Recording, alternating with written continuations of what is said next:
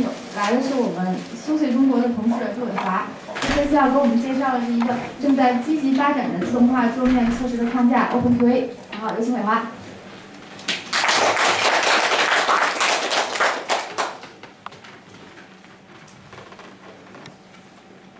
今天我讲的这个是 OpenQA 和桌面自动化测试。那个打算快点讲，讲完之后给大家多一些时间提问吧。然后准备先从那个这个桌面自动化测试开始讲起，讲一些我我自己的个人的理解。首先就是我们为什么要做测试这个问题，当然这问题也很明显。我这边就是引用一句话，就是那个墨菲定律，可能搞测试的很多人都应该知道这个东西。这是大概意思就是说，任何的一个系统，它有可能出现。有可能出现错误，或者有可能是出现失败，嗯，那么将来的话，这错误必然会发生，这一种可能性。这个东西是原先在一九四九年在美国空军的一个实验室，一个叫摩飞的一个工程师提出来的，但是后面就是引用到很多领域，包括计算机领域。所以说，那个测试肯定是有必要的。那关于自动化测试这方面，我个人的理解啊，就是。嗯，有这么一句话，这也是我同事，我们其中一位同事说的，我把它放在上面，就是说，嗯，把机器的事情交给机器去做，然后这样呢，能让我们的工作更加的人性化。因为测试这种东西有很多就是，呃，重复性的工作，如果你要用手工去跑的话，确实是一个很很大的一个时间的一个成本。嗯，这句话我写的就是说，在那个就是用户都不想做小白鼠。所以我们尽量在用户发现 bug 之前，我们能发现。然后，关于桌面测试，桌面的自动化测试呢，有，嗯，有人可能感觉到就比较困难，就是说这个具体难点在什么地方呢？首先就是，嗯，测试的，我从输入和输出的角度说，从输入角度，计算机测试包括比如说键盘的输入，然后鼠标。那个声音的输入，还有摄像头啊，这都是作为系统的一个输入。然后输出呢，啊，这些输入模拟起来是比较困难的。一般输出呢，包括呃显示、显示输出，包括声音的输出等等等等。输出这方面呢，嗯，对于衡量这个输出是否满足我们要求，这点也是呃对于计算机程序来说，可能比较困难的一件事情。另外就是输入和输出结合起来的话，这个事情更复杂了。比如说我在这边举一个例子，就是，呃，桌面上有一个按钮，然后我用鼠标去点击一个按钮，然后我来模拟这个操作行为。然后这个 button 呢，它会它的位置并不固定。然后这样呢，作为鼠标来说，我需要找到这个定位，定位到这个 button，然后可能需要用一些图形匹配的一些工具。然后呢？这个鼠标去发送一个命令，去点击这个 button，但是点击的结果呢，就是也也可能这个窗口消失了，然后会有新的 button 出来，于是这个 button 的位置又改变了，所以这是一个交互性的一个问题。另外还有一些其他的一些可以说是呃变数在里面吧，比如说嗯不同系统还有不同的机器，还有不同的那个分辨率，屏幕的分辨率，这分辨率导致你的那个桌面的显示是不一样的。所以在这种情况下，你要是做一个测试的一个 script 的一个脚本，跑这个脚本的话，你需要考虑到这些情况。另外就是一些 UI 上面的变化，比如说 style，就是它的颜色变了，或者它的那个呃大小变了。嗯，你你新重新进行匹配的话，你就得考虑到这种变化。另外就是用户的行为，比如说用户拖拽这个窗口，然后那个 reset 这个窗口。另外还有一些异常的处理，比如说。如果真的发现了 bug，它会有一些错误提示，这种东西在你的那个就是桌面测试里必须考虑考虑进去，另外还有一些其他的因素。那个所以说，我认为比较困难的就是桌面测试，桌面自动化测试也比较困难的就是这种交互性的这种这种测试，就是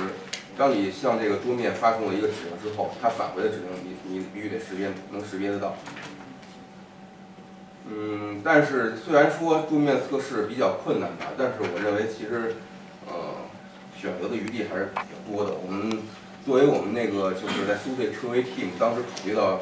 一些比较可行的方案，就是有很多现成的一些测试框架，比如说像 StrongWind。StrongWind，就是呃通过调用这个 accessibility 的一些组件，来直接控制那个窗口行为，直接来控制那个控制菜单了，控制这个。但是它这个东西有一个问题，就是说，呃，它还是比较偏底层的，不能完全模拟那个用户的使用习惯。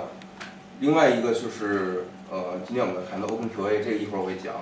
呃，还有就是像 ModeMail，像那个 Selenium 这些东西，它主要针对 Firefox 浏览器的。测试的，所以不具有这种通用性。还有就是像 s p o o l y 这种比较新的这种框架，呃，一会儿我也会提到。那么最后我们为什么就选择了 OpenQA 呢？嗯，有几点，我这里列出几点原因吧。首先，OpenQA 这个开发是非常活跃的，然后这样能保证你的就是这个这个项目是一个可持续的、可持续性这么一个项目。另外呢，就是。它可以测试安装过程，这个是 OpenQA 的一个特色之一吧。就是许多其他的测试框架可能没法测这个安装，因为在系统安装的时候，你这个本身的环境测试环境是没有的。然后至至于为什么它能测试这个东西，我后面会提到。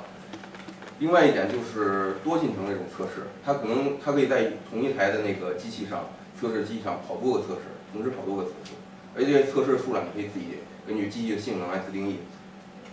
另外就是，呃，对于那部署这个测试环境，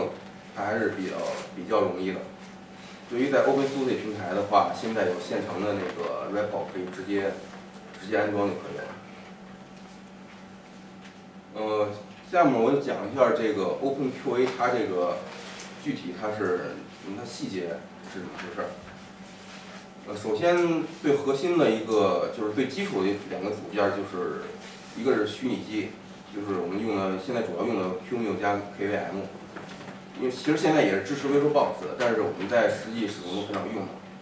然后另外一个 OpenCV 作为作为那个图形匹配的一个一个方式。主要的过程就这三点，一个是简单来说吧，归纳起来就是向这个虚机里面发那个发送那个 send key，发送那个呃按键的命令。另外呢，就是命令发出去之后，获得了反馈，就是屏幕截图，然后再通过 OpenCV 对这个截图进行匹配，这是就是概括起来说大概这个过程。当然，这其中的细节还是比较复杂的。呃，开发语言用的是 PO，PO 语言。OpenQA 现在我们一直谈到这个 OpenQA，它实际上是个整个的一个框架，里面细分的话有两个部分组成，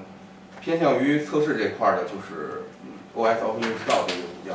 然后偏向于那个用户这块的就 OpenQA，它俩合起来就是可以称之为这个 OpenQA 的一个测试框架。主要分工就是 OS OpenInstall 就是做具体的工作，具体的测试，比如控制这个虚机啊，进行匹配啊这些。然后 OpenQA 呢就是生成一项任务，根据你的需求，根据你的自定义的一些一些一些 template 来生成这个这个 job。具体的怎么工作呢？是这样，整个这 OpenQA 的测试框架，其实到目前为止最新的版本是围绕着一个一个 Perl 的一个 Web Framework 来展开的，就是 Majority 是非常强大的一个东西。具体来说，就是如果你有一项测试任务，你通过一个 Client 一个一个你可以控制的一个一个呃前端吧，可以说是，然后向这个 Majority 是发送一些，比如说你的 ISO 文件。你的那个测试的一些一些呃，比如说你测试的那个呃版本号，你测试的这个呃桌面桌面桌面是程是 GNOME 还是 KDE？另外呢，还会发送你 OpenID 的信息，你可以登录 OpenID 对这个 m o d r i s 的整个这个 OpenQA 测试框架进行管理。啊，这个东西发送过去之后呢 m o d r i s 呢会会把生成的这个。生成的这个 jobs 来储存在本地的一个数据库里，就是用 Spring 来实现的。啊，这个一个 jobs 我就列出了一个 jobs 大概的一个一个样子是什么？其实这个很就是一个 JSON JSON 的一个格式，然后里面有一些有 ID 啦，有这个 jobs name 啦，还有一些那个返回的一些结果啊什么的。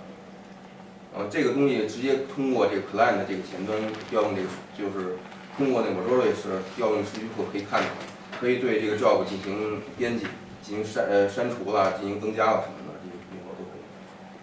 然后呢，呃，具体跑测试的行为呢是 worker 来实现的，就是你用户直接发送那个 worker 指令，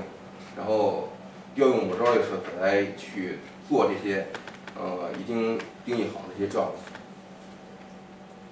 它会调用这个 auto auto install 这个，然后 auto install 呢，通过 send key，就刚才咱们讲过，send key 跟这个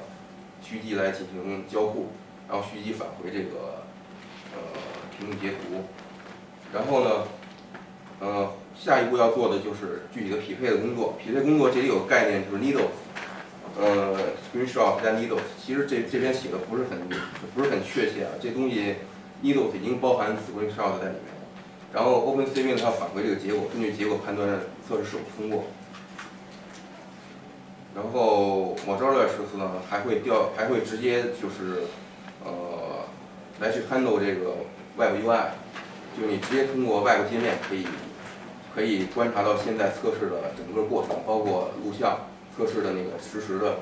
视频，包括那个测试 log 都可以在 UI 里看到。嗯，刚才提到那个 Needles，实际上是 OpenQA 这个系统里比较有特色的一个东西，也是一个比较关键的一个概念。这里稍微说明一下吧，到底什么是 Needles？嗯，Needles 主要有两部分组成，一部分就是图片，就是所谓的屏幕截图，一般是保存成 PNG 格式；另外就是数据部分，是一个 JSON 文件。具体的形式就这样的，这个这上面分左右两部分，左边是那个测试脚本。右边就是 Needles 有两部分，一个是屏幕截图 PNG 文件，然后这个就是刚才说的这个 JSON 文件，呃，主要有两个两个部分，一个是 Area，就是这个定义的区域，这个区域就是你在这个图片上截图上要匹配的区域。对于对于这个区域以外的部分，呃，那个 OpenCV 是不会去管的，只匹配你区域定义的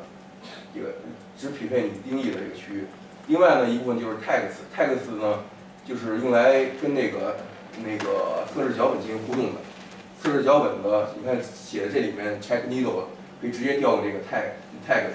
凡是有这个 tags 的 needles 就就归纳到这个就是可以进行匹配的这么一个过程之中。就是你可以有多个 needles，呃，同时有一个同样的 tags，这样的话你的脚本调用这个 tag 的时候，实际上是。呃，轮番的把这个多个 needles 呃全都过了一遍，只要有一个匹配的，就这个这个这个测试这一步就通过了。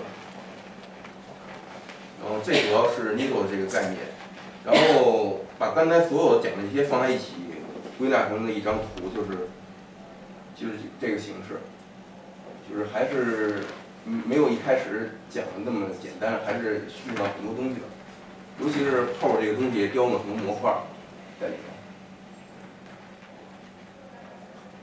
嗯，下面我们就看一下，因为现在网络是好的，我们看一下现在这个，就是给大家一个直观的印象，OpenQA 从那个 Web UI 上看到底是什么样子的。嗯，就是大家如果有设备的话，可以访问这个网站。这是现在呃在测这个 OpenSUSE 的一个呃就是滚动测试的这么一个一个网站，就是。他们架了一个，就是我们那边德国同事架了一个 server，然后这个东西实际上就是测的内容就是每天都会，Open Source 都会有相应的 build，就相当于是 daily build 那种形式吧。而且 build 分了很多个版本，不同的 build。然后呢，这个 build 出来之后就自动在里面跑一遍，就滚动的跑，只要有 build 就跑。然后那个第二天会有新的 build，然后在这新的，所以你要是看这个网站的时候，它总是在跑这些测试。你可以看一下。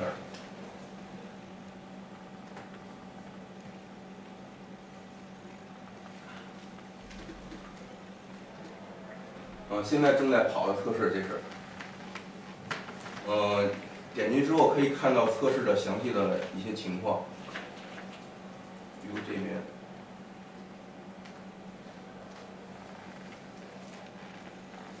这边左边列出的测试的具体的。呃，这些脚本，这是一套测试，也包含不同脚本。然后右边这是测试的 log，这个 log 是实时更新的，就是现在测在测试的时候然后上面这边就是就是当前测试的一个情况，是一个实时的一个一个一个视频。实际上这个视频也是有很多截图文件来来去拼成的。现在因为网速比较慢，可能它这个测试给卡住了。前面也都成功了。现在这个跑测试实际上是比较简单的一些我们所谓的就是呃 smoke test，就是可能验证这个这个 application 或者是这个新新建的这个这个 ISO 文件安装的过程是否是否能够安装，然后是否能够起来。对于详细的功能呢，像测试它并没有那么多。所以这要是要涉及到功能测试的话，可能它这个这个 ISO 这一个一个系统它不会很快的跑完，所以现在目前为止还用在这上面。但是我们是希望把它能用在像 regression 测试这种地方，所以现在正在做这方面的调查，正正做这方面努力吧，能代替一些那个回归测试的一些内容。然后剩下的就是我们希望有更多的。呃，社区里面的爱好者吧，如果对这感兴趣，或者其他一些公司的那个呃其他一些社区的爱好者可以加入我们。然后具体的方法就是，我们所有的那个 OpenQA 的代码都现在都在 GitHub 上。这是刚才说的那 OpenQA 和 Auto In OS AutoIN Store 这两部分，呃，全都在这里边，大家都可以直接 Git 可动下来，然后可以研究一下上面的东西。如果觉得有些地方需要改进的话，也可以。直接的去去去 fork 出来，然后自己做，然后发那个 pull request。嗯，至于就是脚本这块儿，测试脚本现在主要这上面就是 OpenSUSE 的，呃，还有 Windows 分成两个独立的一个 Git repo。嗯，一般如果是想入门的话，想想比较快上手的话，可以先从那个脚本入手。虽然也是都是拿 Perl 语言写，但是它这个调用的这个 Perl 的这些函数，呃，这些方法还是都是比较简单的。而且我们关键是我们这点，就是因为是一个开源的项目嘛，所以我们这个可以用在很多个平台上，各种翻译码都可以用，包括 Debian 啊、很多。但是现在还没有人做这方面的工作。如果大家是来自 Debian 社区的或者乌班度社区的、Fedora 社区的，可以帮助我们来把这个可以迁移到别的翻译板上做一些测试。你这也可以架自己的 OpenQA 的 server 来二十四小时跑这 daily build，都是可以的。然后下面要讲的就是结尾要讲一下，就是对未来的这个自动化测试一些展望吧。呃，之前我们研究过这个 s p o o l y 这个东西 s p o o l y 它实际上严格意义上来讲，它并不是一个专门用来做测试的一个东西，它是指一种图形化的一种图形化的呃处理图形的一个编程的编程语言的框架。具体形象来说，我这边有一截图，这是 s p o o l y 它自带的一个那个 IDE 的界面。它的编程方式就是这样截图，比如说第一行如果存在这个截图，然后底下会怎么样怎么样，所以这种东西就是呃写起来还是比较直观的，但实际上它后面调用的也是这个截图的位置的信息，只是这个 IDE 确实也是比较新颖，这个东西出来其实也有好几年了，但是现在嗯好像实际在使用的都是都是自己在玩吧，就实际把它用到工程之中的好像并不多。所以我们希望能不能用这个来进行完成一些自动化测试方面的工作，因为这个相对于 OpenQA 的好处，它效率更高一些，效率很高，而且它匹配的图就是不用把整个图都截下来，直接匹配那个你自己截下的图。所以它现在还不是一个完整的框架，所以还要需要很多的工作要去做。基本上我今天讲这么多，然后大家看有什么问题。能不能演示一下嗯用 OpenQA 做一个小测试之类，比如自动打开 Gedit，然后点一下什么按钮或者菜单？哦，这个东西，因为我今天准备的，因为今天时间比较有限嘛，这个东西要跑的话，可能还需要点时间，而且，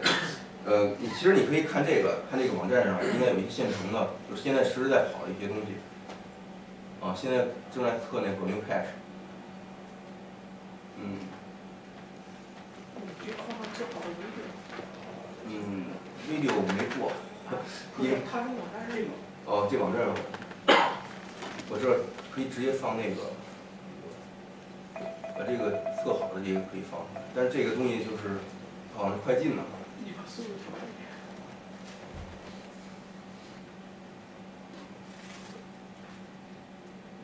啊，这是一个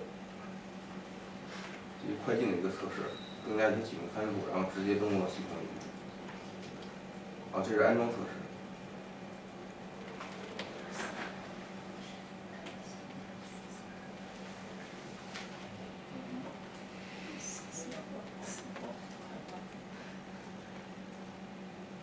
啊，这已经点击了按钮，实际上它的操作完全就是快捷键来，快捷键的形式来来去去操作的。因为现在就是由于 KVM 的一个 bug，现在鼠标来去控制这个功能还没有完全实现，所以现在的一切的测试都是靠那个三 T。这个速度有点慢，反正大概就是这个形式吧，还是这样。那刚才就没有用到 OpenCV 是吧？呃，用到了，就是它匹配的时候用的是呃底呃后呃底层用的是 OpenCV，对，匹配这个图片就是检查这个图片是否是否和 Needles 这个截图是否和 Needles 符合。它仅仅是一个简单的一个匹配的过程，啊，但你也可以自定义这个匹配程度。刚才那个过程在 send key 的时候是没有依赖匹配的，没有依赖图片的是吧？三 T 是不依赖的，就是不是先分析那个不是不是不是，这直接从脚本里实现的，打进去了。然后那个图片是为了确认下一步是我们想要的那个结果。对对对，是。那如果呃用户拿这个脚本原封不动的去测装了另外一个主题的同一个发行版，会出事吗？呃，可能会，所以就是说这个东西，呃，嗯，它这个测试脚本分好几套，对不对？不同的，嗯，不同的那个就是，呃，因为从比如 OpenSUSE 吧，它有 release 一个，它有 factory 的 release，它有不同的版本，比如说有 KDE 的版本，有 GNOME 的版本，或者有别的一些版本，所以每个版本你都要准备，或者你或者你也可以写一套这个 script 的测试脚本，然后增中间增加一些条件来判断。然后具体它是哪个版本，然后实现不同的匹配，匹配到不同的那个 needle，这样。写脚本的人很辛苦。呃，我们现在正在写脚本，还是比较辛苦的。那脚本有可能录制吗？呃，你是说通过这个直接在这个系统里操作，然后直接录制出一个脚本？目前还没有这个功能。这个这个我不知道录制这个脚本是会不会很，就是很恐怖这个，但但实际上这个倒是一个很快的脚本的一个开发方法，将来说不定有这个功能，说不定。因为从那个不管是这个测试工具像 l o r a 还是我以前那种游戏里面写那个什么辅助练功那些工具，像什么按键精灵啊，它其实有专门的对对对。对对对，按键精灵它也是那个可分析的。是是是。那我再有个问题啊，这个有没有可能和这种 Selling 啊，还有这种就是 Test Link 去做一些整合？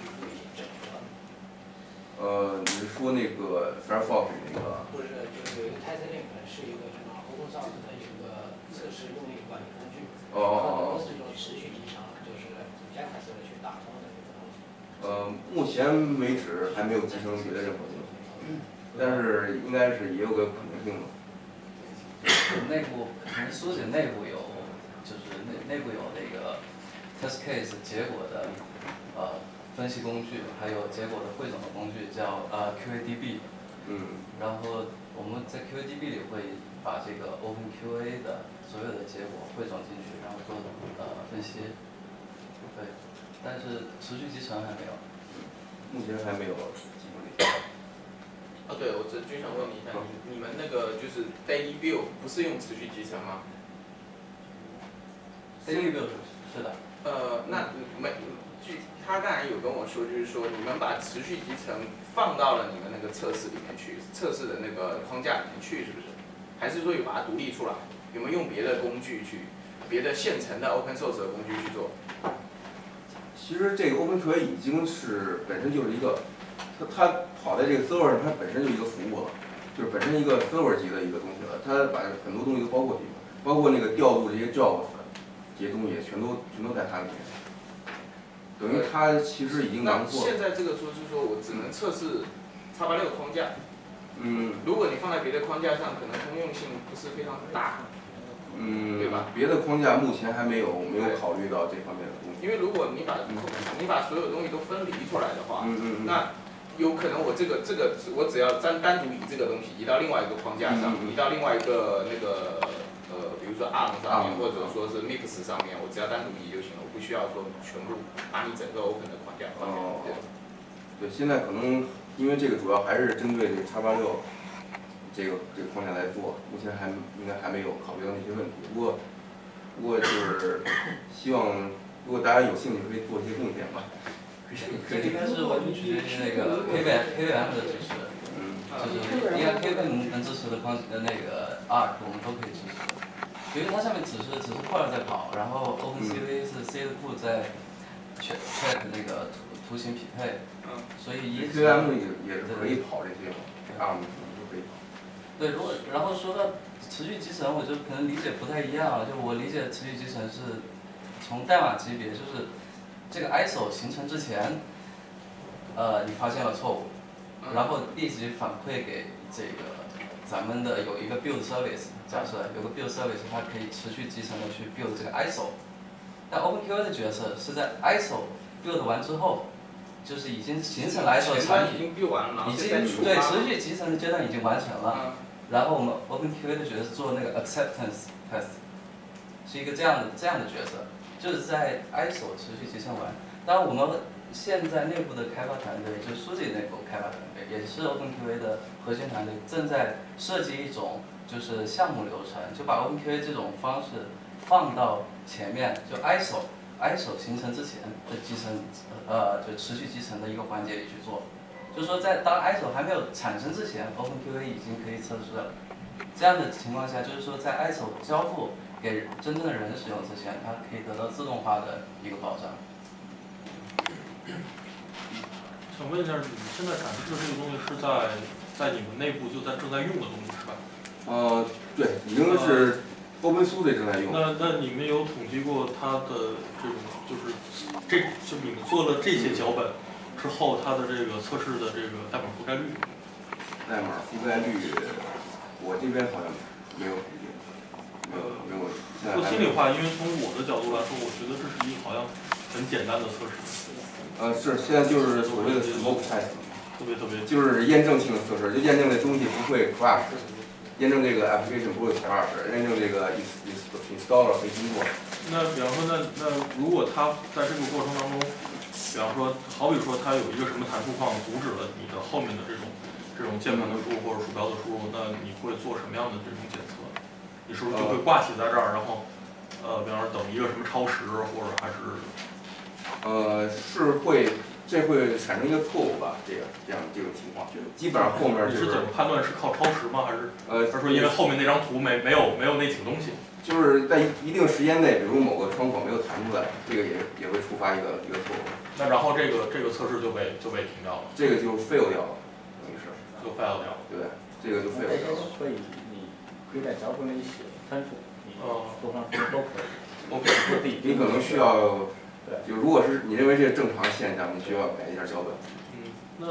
或者换句话说，就是你们除了呃用它以外，你们还在用其他的什么测试手段？手动测试，呃，那这个东西出来之后，它减少了多少手动测试的工作？呃，很多，至至少对每个就是每一个 build 出来之后，你不用手动的把它安一安装一遍，然后看有没有问题了。因为这个每天的 build 数量是很大的，如果全都靠手动去测试，是很大的一个一个工作量。这个东西呃，能能大概的给一个概念吗？给一个概念就是，你可以现在看现在跑的这些，嗯，呃，不是，我的意思就是，好比说，呃，你你原来用手工测试的时候，你需要投入十十十个人，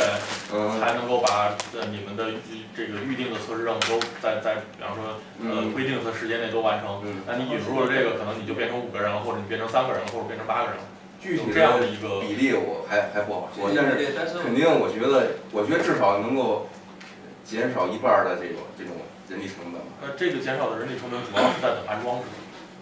呃，对，就是安装还有这个对于安装的这个这个这个分析吧，这方面。安装过程之中有什么异常啊什么的。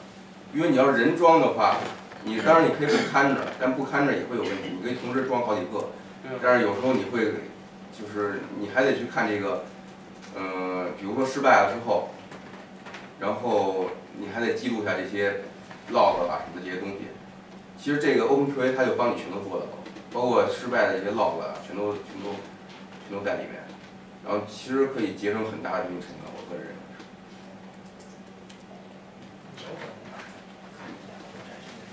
你有跟他测过什么具体的这种应用软件吗？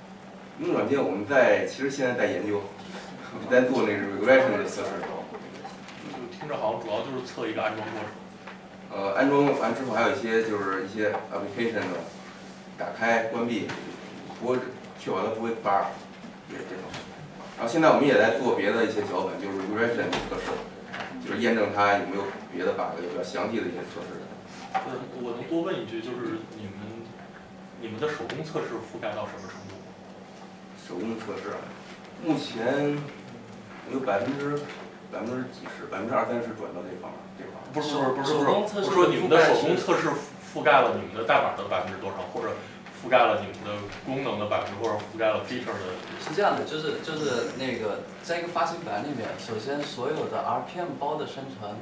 都是应该是由 RPM 的维护者去负责的。就 RPM 在 build RPM 之前，应该是会有 UT 的代码去确定它的呃新的代码是百分之百呃被 UT 过的，就是说它函数和函数还有模块是正常运行的，然后才能打到 RPM 来。然后交付之后，在 OpenQA 这个阶段，或者说就是咱们说的手动测试阶段，应该是不会去考虑代码的覆盖率，而而会去考虑啊、功能，或者是最重要的企业客户他的行为的覆盖率，这种覆盖率是很高的。对现在是这样，因为现在这种跑这个啊，这这个就是你怎么去严格的做这种统计呢？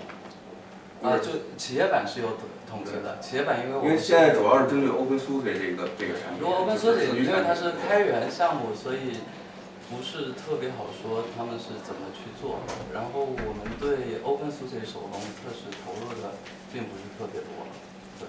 所以这也就是为什么这 OpenQA 的价值所在，因为社区里的人很少会去做手工测试的。但你看这个五月二十四号，就现在有一二三四五六七八八个 build 去跑，如果是没有 OpenQA 的话，这八就需要八个人去跑，或者说一个人分成八个任务去跑。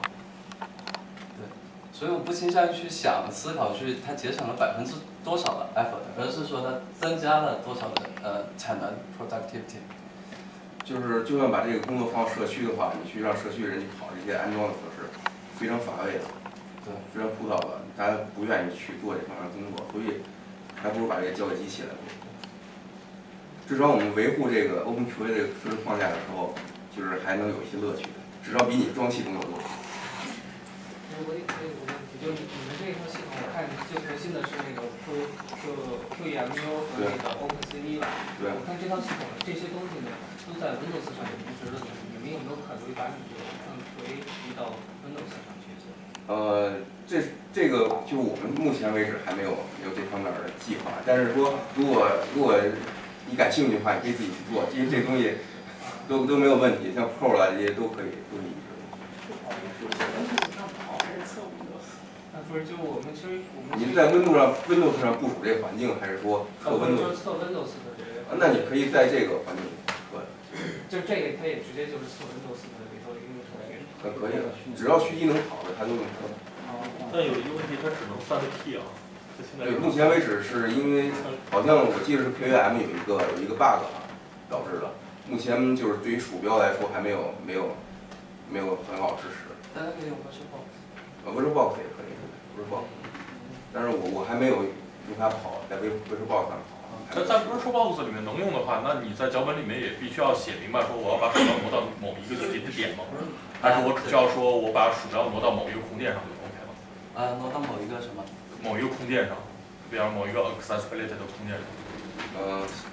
现在应该是某一个点。只能还是按。按坐标来但是但是。但是但是有些应用程序它在启动的时候，它它不是那么的保证说每一次都恰恰能体现到我刚才讲那个 Spoolie，它就可以实现，就是说你直接把那个相应的空件儿或者所谓的空件儿或者那个元素来截图，然后进行匹配，然后直接去点那个截图上的那个。那如果一个一个界面上有好几个类似的这种截图，这在 Windows 上是会有这种状况？呃，你可以增加截图的范围。大小。对，范大小，你可以这个东西也是乐趣所在。OK OK。你们 那些 OpenCV 的样本是自己截出来的吗？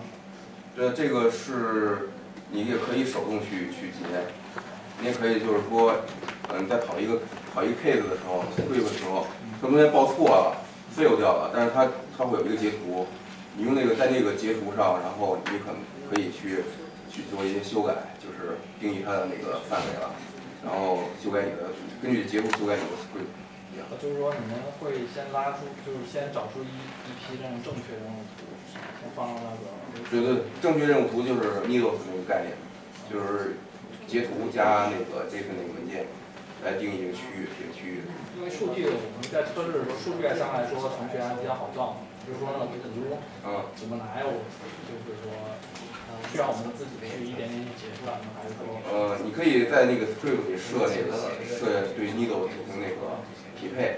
然后那个它会匹，它找不到这个匹配的时候，它会截一张图，所以你这个 script 跑下来之后会有很多很多截图，你直接就用用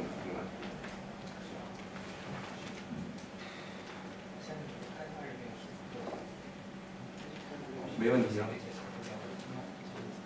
没问题就到这儿